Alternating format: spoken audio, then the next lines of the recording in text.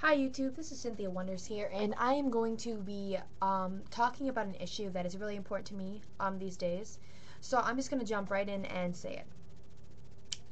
Um, since I was about first in first grade, about six or seven, I believe, um, I noticed that I wasn't the same size as other people. I noticed that I was a little bit different, a little bit bigger than other girls my age. A, lo a lot of my friends were a little bit smaller, petite than me. Um, and it never really hit me until middle school age, maybe sixth grade. I kind of felt like a jolt of, whoa, I don't think anybody likes me here. I don't think that I'm as pretty as that girl over there, or I'm as skinny as that girl over there, or she has nice clothes and I don't and I kind of was ambushed with those feelings, with those insecurities.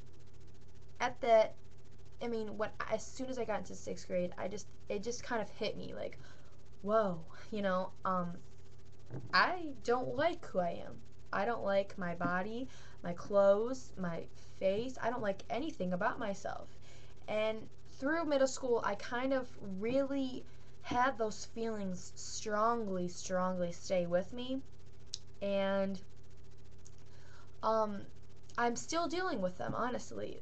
I still am not comfortable with my body totally and completely.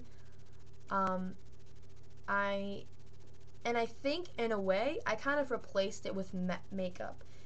You guys see me doing makeup videos, and you see me, you know, um, being goofy and making jokes maybe, and so you don't really see what's on the inside um, as much as like how I feel and things like that. And um, basically, I'm doing this because I'm sure, or I hope. Well, actually, I don't hope, but I'm almost positive that other people feel the same way I do. Um, I guess I should kind of say I'm not really the skinniest girl around.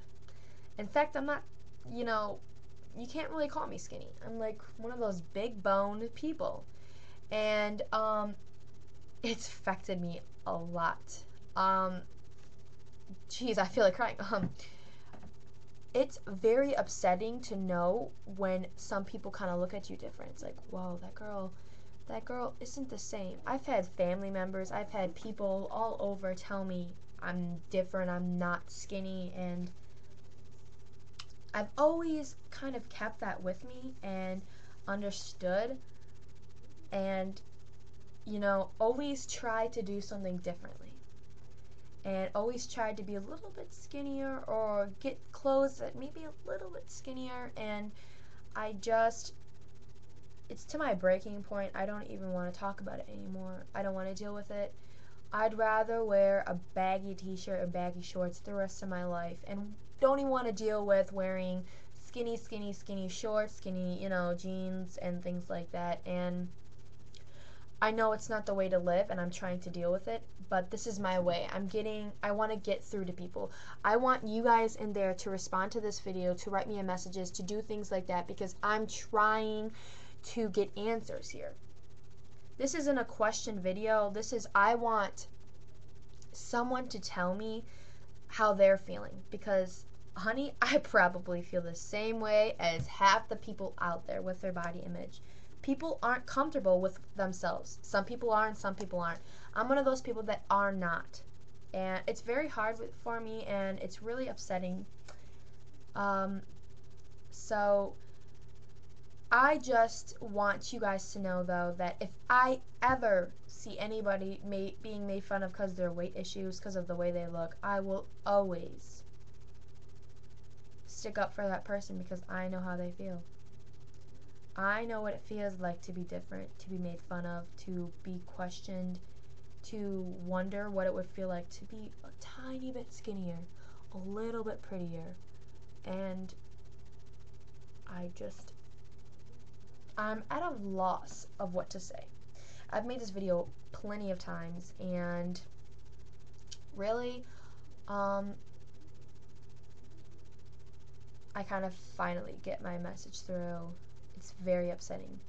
If you know someone that is being made fun of, that feels this way, please help them. Please.